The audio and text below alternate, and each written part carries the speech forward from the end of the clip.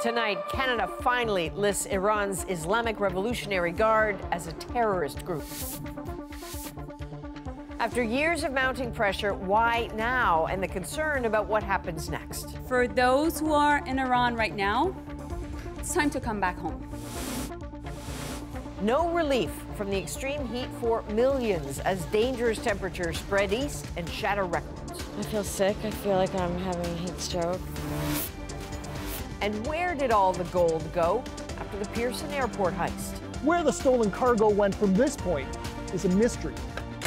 Our investigation turns up unanswered questions why the case is far from solved. From CBC News, this is The National with Chief Correspondent Adrienne Arsenault. Thanks for joining us. Canada is telling its citizens not to go to Iran and if they're in the country now, to come home. This after the federal government designated Iran's Islamic Revolutionary Guard Corps a terrorist organization. The announcement comes a month after MPs voted unanimously for the designation. Now, any support of the group is a criminal offense in this country. The IRGC is a branch of the Iranian armed forces and responsible for shooting down Flight PS 752 over Tehran in January of 2020. Ashley Burke first broke the story for CBC News hours before the official announcement, and she leads our coverage tonight. After years of intense pressure, the government's now acting on a high profile demand. Our government has made the decision to list the Islamic Revolutionary Guard Corps as a terrorist entity under the Criminal Code. That designation means police can now charge anyone who financially or materially supports the IRGC, which is a branch of the Iranian armed forces. And Canadian banks can freeze their assets too. This sends a strong message that Canada will use all tools at our disposal to hold the Iranian regime to account. It's a reputational hit against a group Canada says is part of a military alliance with Hamas and shot down flight PS 752, killing 176 people, most with ties to Canada. This is very important to, to list them uh, and to call them what they are. For more than four years, victims' families pushed for this terrorist designation at every rally and event they held, including Hamed Esmaeilion, whose wife Parisa and daughter Reera were killed on the flight. It's very important to punish who, those people or those organizations that were involved in atrocities against Canadians and Iranians. The government was reluctant to list the IRGC in the past, fearing those conscripted who later fled to Canada could be impacted. We remain concerned about it. The Conservatives have been pushing for this since 2018. Because of the government's inaction over the last six years, the Iranian regime's capabilities here in North America have only increased. But the government says now is the time after advice from national security agencies. The Government of Canada has concluded after a deliberative process uh, based on very, very strong and compelling evidence that the Cabinet received that now is the time to list the IRGC uh, as a criminal uh, as a criminal terrorist entity. The Foreign Affairs Minister issued her own warning. For those who are in Iran right now, it's time to come back home. And for those who are planning to Iran, to go to Iran, don't go. Ashley, lots of questions here. Uh, what happens now, and how do authorities prove that people here in Canada are affiliated with the IRGC? Well, Adrienne, it's up to national security agencies now to investigate and lay charges if they have evidence, but it's not clear what that evidence is. The public safety minister wouldn't speculate how that work will be done or how many IRGC officials could be impacted in Canada. An expert I spoke with cautioned that what the government announced today is far too sweeping. He said that without new resources, this is going to be add a major burden to national security agencies, which are already completely overstretched. All right, so many things to chase yet. Ashley Burke reporting in Ottawa tonight. We're following breaking news in Labrador, where an out of control wildfire is forcing the evacuation of Churchill Falls. Smoke could be seen coming from those nearby flames. The community of about 750 was given until 8:15 p.m. local time to get out. Churchill Falls is about a three-hour drive from Happy Valley Goose Bay. One evacuee told CBC News there was a 45 minute warning to evacuate. We were all expecting the worst, and sure enough, at 7:30, we got text message and email notification from forestry to evacuate and head east because the road is blocked to the west because of so much smoke. The MP for the area says the evacuation is going well. Buses have also been provided to get many people out. And in the United States, there are reports at least two people have been killed and thousands of others have been forced from their homes by two major wildfires in New Mexico. It looks like an apocalypse. I've never seen anything like it in my entire life. It was absolutely the most scariest thing I've ever seen. One of the many accounts of what people saw as the fires approached a mountainous village in southern New Mexico. Authorities say so far about 1,400 homes and buildings have been destroyed. A state of emergency is in effect as crews struggle to get the fires under control. Now to the story. Millions of Canadians are living tonight. That relentless heat wave is still gripping a huge swath of this country and records are being shattered. So take a look at the heat today in Bathurst, New Brunswick at 37.6 degrees. That is the highest temperature ever recorded in Bathurst. Tonight, Kayla Hounsell shows us the widespread impacts of this first major heat wave and why health experts say it's just so dangerous. People flocked to the coast, packing beach parking lots, welcoming an early burst of summer weather. So amazing. I love it. But experts are warning the heat dome currently sitting over six Canadian provinces is cause for concern, especially because it's so early, people have not acclimatized. These types of events uh, can have very severe impacts on on health, uh, uh, illness, uh, and and death. There you go. For people experiencing homelessness, a much needed water delivery. I feel sick. I feel like I'm having a heat stroke. In some areas, it already feels like it's more than 40 degrees with the humidex, and that hot, humid weather is expected to stay in most of Ontario, Quebec, and Atlantic Canada until Friday, without even a break at night. All that moisture uh, during the day makes it hard for the temperature to drop off at night, and we and to see any any real reprieve. Toronto is dealing with transit delays because heat can cause tracks to soften and expand, requiring slower speeds. Montreal is approaching its all time record for June 35 degrees back in 1964. I'm not putting a lot of clothes on so he can sleep. Like during the heat wave, I'm not going to be out for long, like maybe an hour or two max. Even those enjoying it know they need to be careful. Water, water, water. Environment Canada says such a heat wave has rarely been seen this early in June. I worry for my grandchildren. What is their world going to be like? In Halifax, these landscapers are calling it a day. It's too hot to continue. With the uh, the humidex, it's 52 right here. In Fredericton, this cafe owner is also closing early. The temperature is excruciating. It is really, really uh, hot in our kitchen. So we're going to have a nice staff beach day finding any way possible to beat the heat to keep everyone safe. Kayla, hard to miss you saying that these temperatures are hanging around. That's right, Adrienne. For most of Atlantic Canada, Ontario, and Quebec, this is going to stick around until Friday. For parts of southwestern Ontario, the heat will linger into late Sunday. Then, when it's all over, Environment and Climate Change Canada will begin analyzing what took place here to try to determine by how much this event may have been influenced by human induced climate change.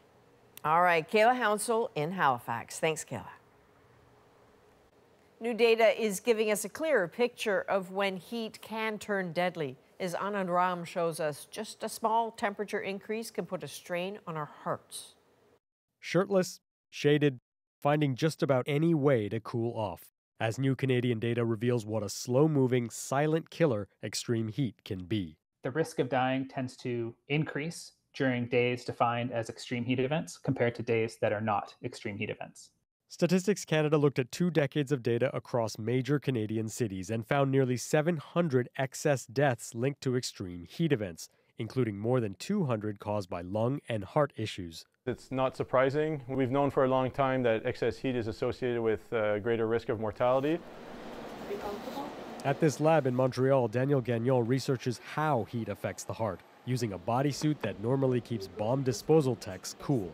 It has tubes sewn into the material and we can circulate hot water to heat people up. What he found was even a small increase in body temperature has the heart working in a big way. Already at uh, half a degree or 0.5 degrees Celsius increase, almost all of the increase in, in the blood flow going to the heart had occurred. That stress on the body can be fatal. Worse for seniors and those with heart conditions. But the report also highlighted other vulnerabilities for renters who may not have air conditioning, as well as cities that don't typically get these extreme heat events.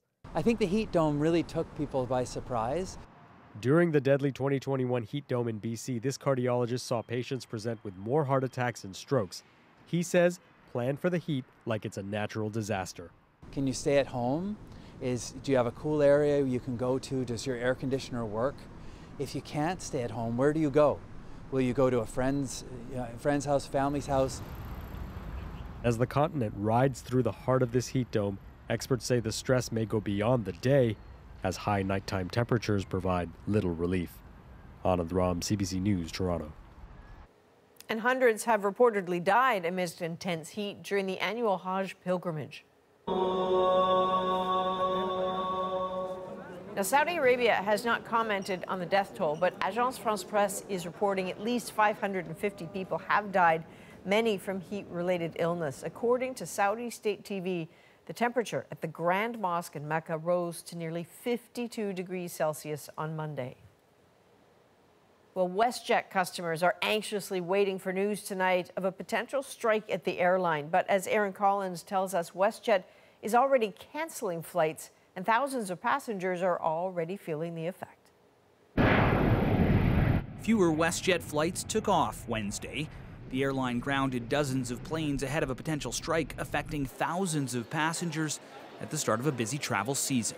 The union representing plane mechanics already picketing. Its nearly 700 workers could walk off the job Thursday evening. They say their wages are falling behind compared to other similar professions. We're starting to be overtaken by people that fix elevators and work on buses and things like that, and it just doesn't make sense to us. The airline and union had reached a tentative agreement, but it was rejected by employees. As a result, um, the process uh, has broken down. We've asked the government to help us to find a solution. Airlines are federally regulated, so Ottawa could step in, but Canada's Labour Minister says he hopes they won't have to.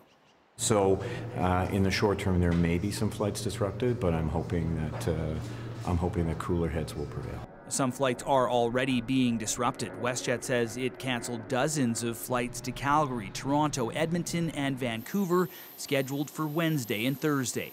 That move angering some customers who quickly took to social media to vent. One passenger complaining that their vacation to Banff was delayed by 40 hours, adding that WestJet must pay for the disruption. Meanwhile, passengers whose flights will take off have different worries. My immediate thought is that it might affect our return flight on Monday. As Canada's busy summer travel season gets set to take off, the hope is WestJet and its mechanics can land a deal before any further flights are disrupted. Erin Collins, CBC News, Calgary.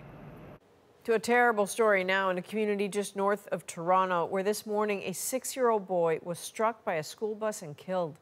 Joanna Roumeliotis visited a neighborhood in shock. It's heartbreaking when you imagine how the day started. Probably like any other. A six year old boy on his way to school, killed in an instant. I'll be gutted. And it's it's unexplainable. It is uh, very tough to hear. I can only imagine how uh, how the mother and father must be feeling. Police say the child was hit by a school bus just before 8 a.m. and was pronounced dead at the scene. Investigators were visibly shaken.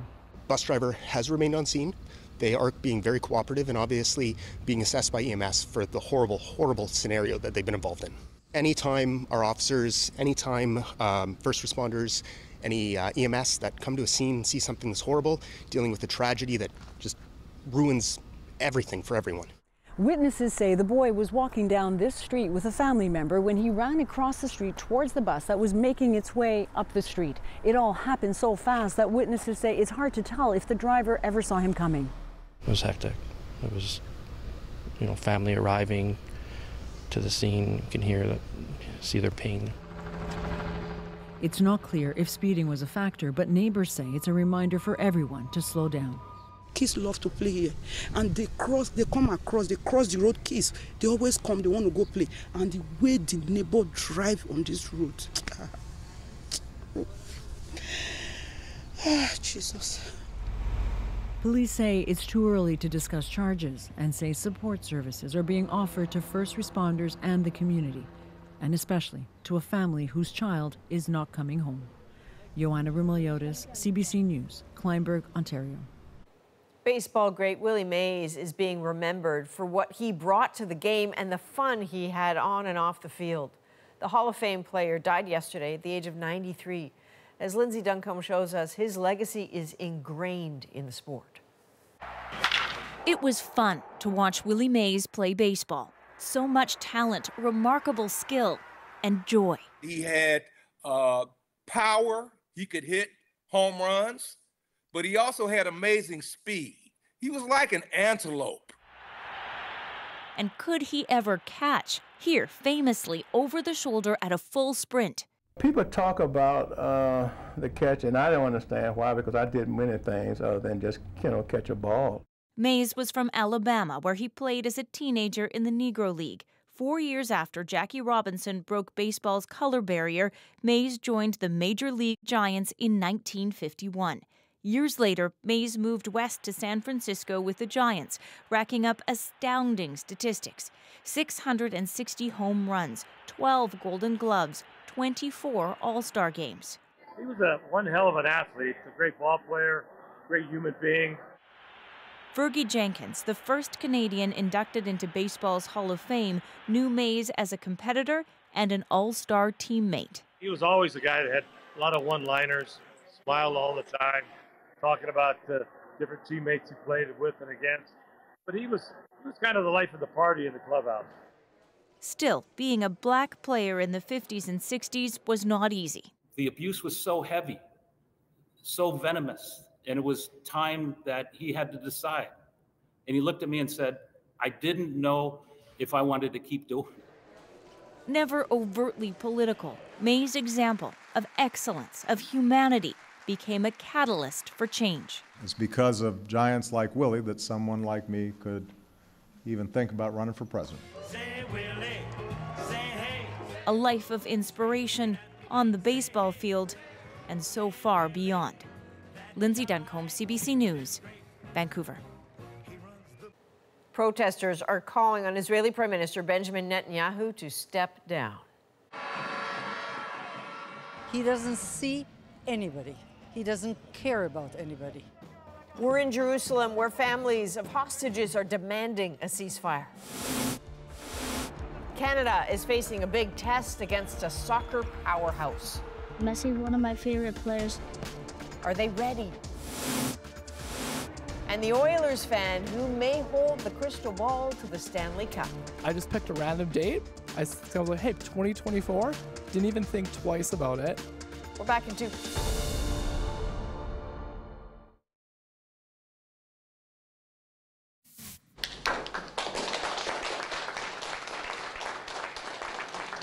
Well, the leaders of Russia and North Korea have signed a new mutual defense agreement. While the details aren't fully public, both countries pledged to help each other. North Korea has become an important ally for Russia in its war in Ukraine, supplying weapons. There are major concerns Moscow could help Pyongyang with its nuclear program. Well, to Israel now, where protesters have launched a so called week of resistance, demanding Prime Minister Benjamin Netanyahu declare a ceasefire and an early election. Margaret Evans is in Jerusalem for us tonight. With each setting of the sun this week, Israeli protesters have gathered in different cities, hoping to force a final sunset on the government of Benjamin Netanyahu, Israel's great survivor, increasingly isolated, but still in charge of a country at war. It's very clear that the current government needs the war to continue to prevent election. He doesn't see anybody. He doesn't care about anybody. The Israeli hostages still held by Hamas in Gaza are top of mind at the demonstrations. Many people want Netanyahu to agree to a ceasefire with Hamas to get them home. Demonstrators even made it into the Knesset on Wednesday. All of them, they're shouting. But a ceasefire isn't something Netanyahu's hardline religious coalition partners want, and analysts say he needs them to stay in power. He politicized the issues. So the hostages' families that are now in the streets are in his way of remaining in power. Ayelet Metzger is getting ready for a protest in Ashkelon, sorting t shirts that say, We're all hostages. Her own father in law, Yoram, died a Hamas hostage in February. We, we, we know that he's dead. We don't know how. Her mother in law was released in an exchange last fall. Metzger is lobbying hard to get the others home. She has no faith in the government to do it. They not available to to do something. They can't manage a kindergarten. Sorry. Sorry. They can't manage a kindergarten. Protesters hope cracks appearing in Netanyahu's coalition will force its collapse. Others fear he's trying to hang on until July when Parliament will recess. Margaret Evans, CBC News, Jerusalem. The head of NATO was diplomatic when addressing Canada's unmet pledge of a decade ago to increase defense spending to 2% of GDP. Canada has increased defense spending significantly. I think the challenge was that back in 2014, when we made the pledge, Canada was at, a very low level. Uh, so, so compared to some other allies, you have a longer way to go. Jens Stoltenberg was in Ottawa to receive an award and meet the Prime Minister. Canada remains one of NATO's lowest spenders on defense relative to GDP. We know police have arrested multiple people suspected of a brazen gold heist at Toronto Pearson Airport, but many details remain unanswered. This is about how gold becomes guns. A CBC News investigation reveals buying guns may not have been the goal. Unless you are arming a militia, that's kind of overkill. And in the UK, the Tories are worried what happened in Canada decades ago could happen to them now. This has been a night unlike any other in Canadian political history. You could count Tory seats on your fingers. Will the UK Conservatives see the same fate? I'll throw that question at this week's panel.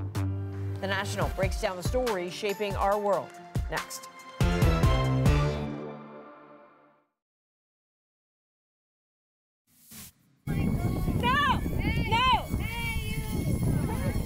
A group of environmental protesters targeted Stonehenge today, spraying it with paint. The incident happened just a day before thousands are expected to gather there for summer solstice. The group behind the stunt says the paint is made with corn flour, will wash away in the rain. Authorities say two people were detained. Well, Canada's national men's soccer team is set for another big international test. For the first time ever, the country will compete in the Copa America, and its debut match is a banger, taking on Argentina, led by the great Messi. Jamie Strachan is with the team. For Canada's men's soccer team, another huge international test. The Copa America features the best of South, Central, and North America. And Canada starts off against arguably the best of them all. Canada, massive underdogs against Lionel Messi and world champions Argentina. The uniqueness of being having the global football spotlight on you, playing the best team in the world that has potentially the greatest player of all time, that is special. After failing to win a game at the World Cup, Copa America, the South American Championships, offers Canada another chance to prove itself as it prepares to host the World Cup in two years. If Canada wants to be competitive on home soil in two years' time, then they really have to be playing teams of this caliber on a regular basis of the of Argentina, Peru, and and uh, and Chile. Canada's roster under new coach Jesse Marsch, much the same as the World Cup, including international stars Alphonso Davies, Cyle Larin, and Tajon Buchanan. But the biggest draw this week is Lionel Messi, global superstar. The sold out crowd in Atlanta will include Messi fans from around the world, including this father and son from Vaughan, just north of Toronto. I'm from Argentina and I'm from Canada. And I met almost all the players in Canada, but I also met almost all the players in Argentina. And Messi is one of my favorite players. They traveled to Qatar to watch Messi play in the World Cup, making the much shorter trip to Atlanta an easy decision. I'd be happy with that. It's just the fact that I'm be that I'm there and get to witness this this game that doesn't happen often with both my countries involved. It's a win-win for me all hoping to see Canada put its best foot forward against one of the greatest players to ever play the game. Jamie Strachan, CBC News, Atlanta. Now it's time to dig deeper into the stories shaping our world. In a year chock full of consequential national elections, next up is the UK, set to vote on July the 4th. We'll look at a curious Canadian connection. But first, a multi million dollar gold heist led to arrests, but also to a continuing mystery. Where is all the gold? Well, if I was a betting man, I'd say India. Police officials declined to talk to us, so our investigative unit did some legwork. Jonathan Gatehouse looks at just how much gold there was, how much it was worth, and the obstacles thieves would have faced in making it disappear. en el aeropuerto de Pearson, a las afueras de Toronto, en Canadá. It put Canada in the international spotlight. The brazen theft of 400 kilos of gold from Toronto's Pearson Airport, and the supersized news conference a year later when police said they'd finally cracked the case. We have arrested nine people, issued three Canada wide arrest warrants. Project 24 Carat traced how a band of small timers allegedly spirited away tens of millions of dollars in gold using a plain white truck. Gold bars supposedly melted down by a jewelry store owner using a welding torch and a few simple tools. Then turned into cash, used to purchase 65 handguns. This is about how gold becomes guns. Stolen gold, melted by hand, sold to finance gun running. Police joking the caper worthy of a Netflix series, albeit one with plot holes you could drive a truck through. This is the place where all that stolen gold disappeared from view. A country road about 30 minutes west of Pearson Airport. Police went to 225 homes and businesses looking for security footage, hoping to trace the path of a white truck much like this one, only to lose sight of it here. Where the stolen cargo went from this point is a mystery. Just one of many unanswered questions about the heist, despite the arrests and celebratory press conference. Basic questions, like what's the true value of the gold? Or the real extent of the link between gold and guns? Not to mention, what actually happened to all those shiny bars? which has us wondering have police really cracked this case? First things first, size does matter. In Hollywood heist films, gold bars are always big and heavy. Fort Knox. Ha! It's for tourists. Police recently revealed that there were 6,600 of them. Each gold bar is 99.9% pure. So a total shipment of about 400,000 grams in the form of 6,600 gold bars. Simple math then tells us that most of them were actually tiny. How small? About the size of a matchbox rather than a brick, like this replica. Easier to conceal or smuggle. Police say the bars were melted down, presumably to obliterate their serial numbers, but even when they're this small, it's still an awfully big job.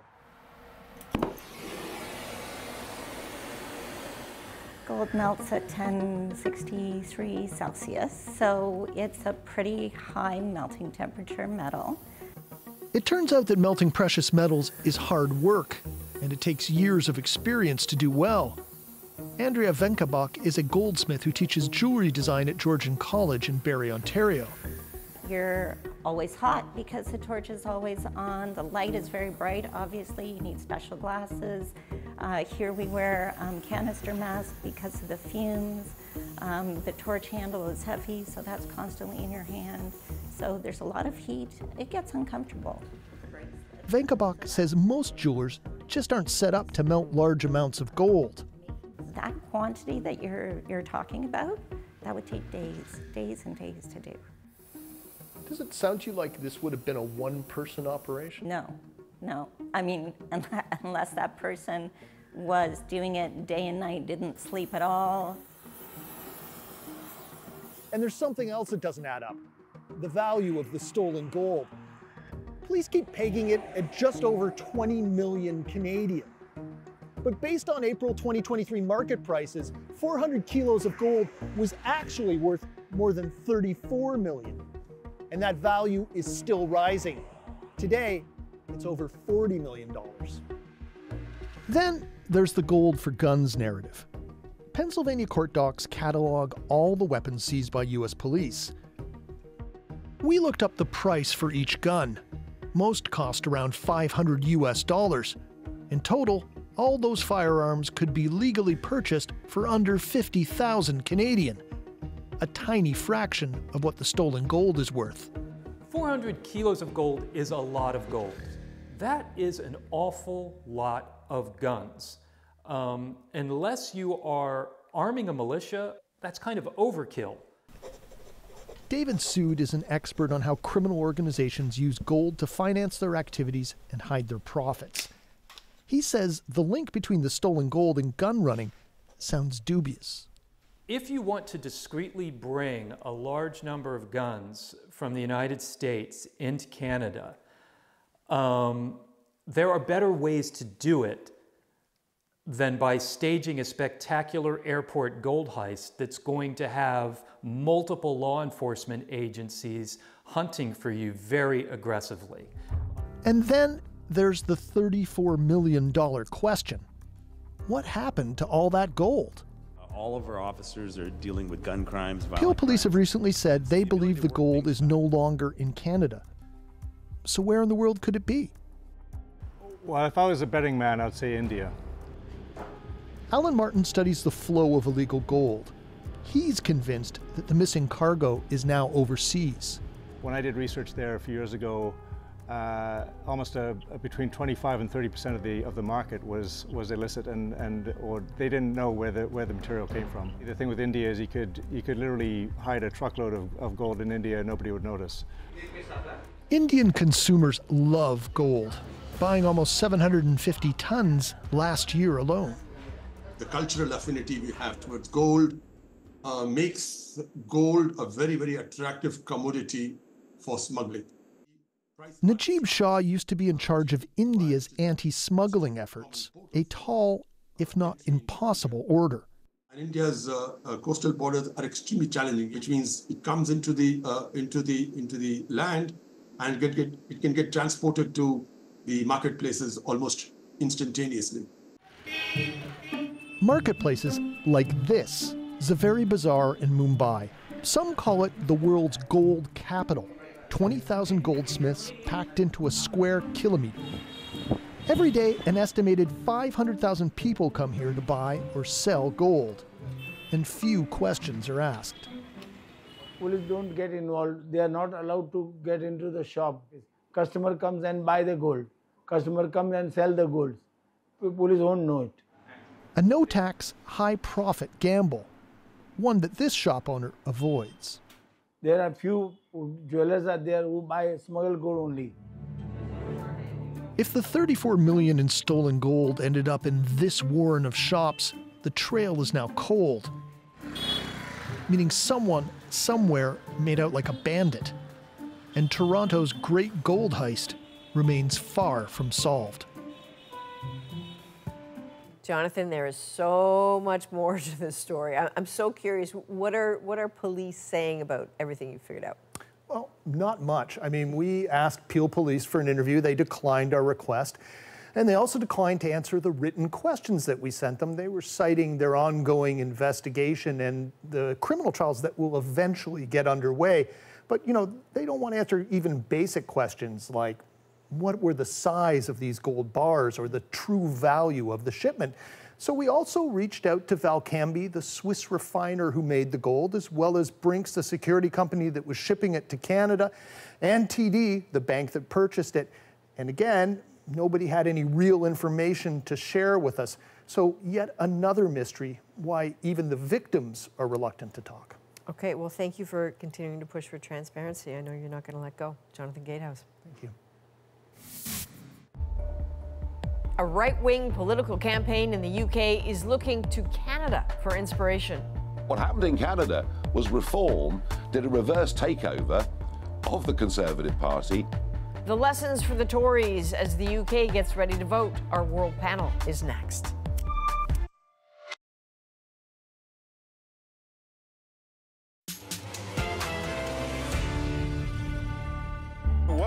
British Columbia as you join the CBC's coverage of Election 93. I'm Peter Mansbridge. This has been a night unlike any other in Canadian political history. The Liberals, who've held power almost 64 years this century, are going to hold it again. You could count Tory seats on your fingers. That progressive conservative loss is still considered the worst ever electoral result for a governing party in the entire Western world. Kim Campbell's PCs went from a majority to just two seats after losing votes to the Liberals and new parties like the Reform. Fast forward to today, as the ghost of that old Canadian election haunts the UK's election, maybe it could happen again. And just like what happened here, the UK's Reform Party is fighting the Conservatives for votes. Its leader, Nigel Farage, using Canada's election in 93 as a playbook. What happened in Canada was Reform did a reverse takeover of the Conservative Party. I don't want to join the Conservative Party. I think the better thing to do would be to take it over. So the UK election is just two weeks away. Let's break down why it's being called a game changer. CBC's Chris Brown is in London, in Ottawa. Former CBC Parliamentary Bureau Chief Rob Russo, who's now with The Economist. Chris, uh, I understand the 93 election was your very first, one of your very first assignments. You know that race. You also just spoke with Nigel Farage. I did, yes, just yesterday, and he talked uh, with admiration about Preston Manning, the founder of Canada's Reform Party. He said that is where the name Reform UK came uh, comes from, and that he's going to try to follow Manning's blueprint. First, win a couple of seats in Parliament, and then springboard past the Conservatives in the next election before eventually doing what he called a reverse engineered takeover of the Conservative Party. Now, Farage, I think, has some advantages maybe that Preston Manning did not have. He's not a new face in the UK. He's a political disruptor who two decades ago formed the UK Independence Party and helped push Britain out of the European Union. He's also, I would say, a showman who a lot of people remember for being stranded in a jungle on a British reality TV show. Okay, so now I feel, Chris, like everyone's going to retreat to Googling that episode. So the last time the Labour Party won an election, this man, Tony Blair, was in charge. The Conservatives have now been through awful lot of prime ministers, five consecutive leaders. So there has been some chaos in the Conservative Party, to say the very least. But how accurate is it to compare it to Canada in 1993? Uh, Rob, like Chris, you covered it then. Don't be mad. We have a picture of you on the trail in 93. Let's have a look. I want to assure alarm viewers that that's 1993 and not 1893. Yeah. so what do you think about that comparison, Rob? Does it make sense? Is, it, is this a fair conversation to be having? There, there are some similarities. Let's go over the differences first. Uh, a key difference is um, uh, Kim Campbell was actually ahead going into that election campaign, even or ahead. She brought the Conservatives back from a nadir of a low point of 12% to to actually be ahead uh, during the first week of the campaign. Not the case with Mr. Sunak and the Conservatives in the UK. I think the other difference is that the Progressive Conservatives here in Canada in 1993 faced a bilateral threat from both sides. Uh, the party was made up of alienated Westerners who joined Brian Mulroney and nationalist Quebecers, and both those elements of the party had turned on Mr. Mulroney. Mr. Sunak faces more of a threat from the right on one issue in particular, it seems, immigration. Those are the differences, but the similarities can be striking. We have both leaders, Mr., uh, Ms. Campbell and Mr. Sunak, are breathtaking change. uh, we have uh, a stumbling campaign. Kim Campbell stumbled out of the gate, even with that advantage, made some key errors early on. Mr. Sunak seemed to have made a very key error, particularly uh, a couple of weeks ago in Normandy. Um, they're facing not exactly exciting, charismatic leaders, but people who were considered safe hands, and Mr. Chrétien, uh, and uh, in terms of the, the labor leader as well in, in the UK. And the other, I think, striking similarity is that the voters in both instances were exhausted after rambunctious, uh, uh, uh, cacophonous change. Okay, beyond the exhaustion, Rob, let's have a look at, at what you said, because I want to look at some of the numbers we're talking about. The Canadian Progressive Conservatives in 1993, this was them before the election. But after that election, look at what was left. You have to need a microscope to find the two seats that they ended up with. By comparison, let's look at the UK right now. So this is the UK Parliament before the election. All that blue, those are the Conservatives. This is what's expected to happen to them after the election. A lot less blue, a lot more red. So Chris, Rob mentioned exhaustion. I think all, all voters can understand that. You've been out on the campaign trail with Nigel Farage, talking to voters. What, what do you think seems to be driving their decisions right now?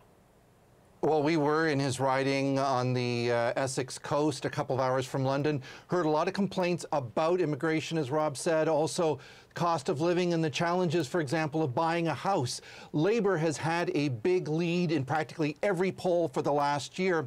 But Keir Starmer is not offering sweeping reforms, rather incremental moves like spending more money on health care to reduce waiting lists, hiring more teachers and police officers. And he says he's going to pay for all of that with targeted tax increases on things like private school tuition fees. So to many people, that doesn't sound like a real hard left agenda like, say, former Labour leader Jeremy Corbyn proposed. So right now, Keir Starmer probably doesn't feel like he has to take many risks just to protect this lead.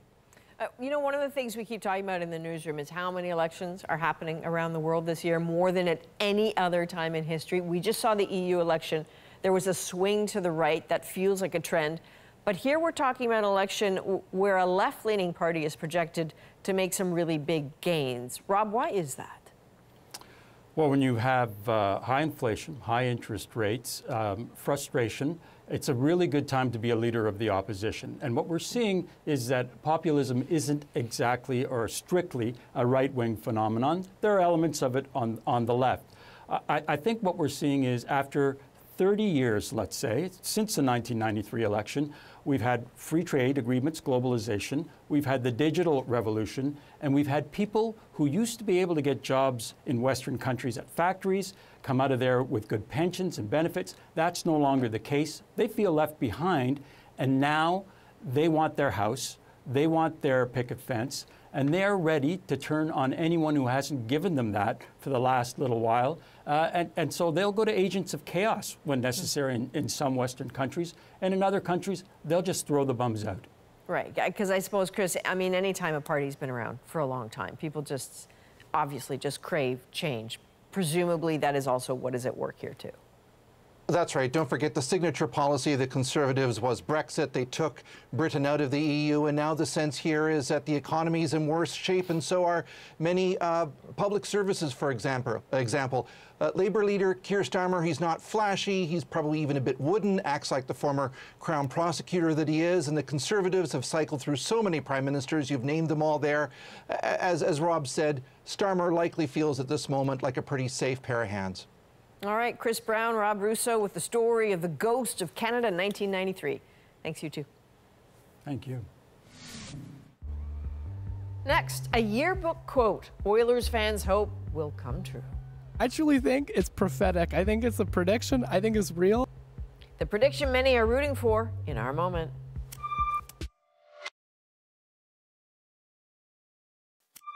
Oh my God, on top of the world, Oilers in seven, 100% of the way. Oilers fans went wild after Edmonton beat the Florida Panthers in Game 5, and at least one fan is sure the Oilers are going all the way. In fact, he predicted it back in 2018, left it as his yearbook quote. His graduation prophecy is our moment. David tipped it in, scores! scores! They're just going to win the Stanley Cup this year. I'm confident. When I was graduating high school, I remember just thinking, what am I going to do for my yearbook quote? I was like, hey, how funny would it be if I predicted my favorite team in the world, the Edmonton Oilers, of course, to win the Stanley Cup? Flips it back to McDavid, swings wide, takes the shot, scores! I just picked a random date. I, I was like, hey, 2024? Didn't even think twice about it. So, yeah, it's right there. Edmonton Oilers, watch it happen 2024. Scores! What a brilliant piece of work! McDavid to Perry, and it's 4 1. I'm confident. Uh, it's not about when it becomes true, it's when it happens. In alone, looking for Shorty, scores! I would just love to see the Oilers winning game six coming back to Rogers. I truly think it's prophetic. I think it's a prediction. I think it's real. You know, dreamers dream. Totally. The whole country is counting on this. Uh, we're all going to be with you, Edmonton. In fact, Ian will be hosting the National from Edmonton for Game 6. He's very jazzed, as are we. From all of us at the National, thank you for being with us. You can watch anywhere, anytime on the free CBC News app and subscribe to the National's YouTube channel. I'm Adrienne Arsenault. Take care.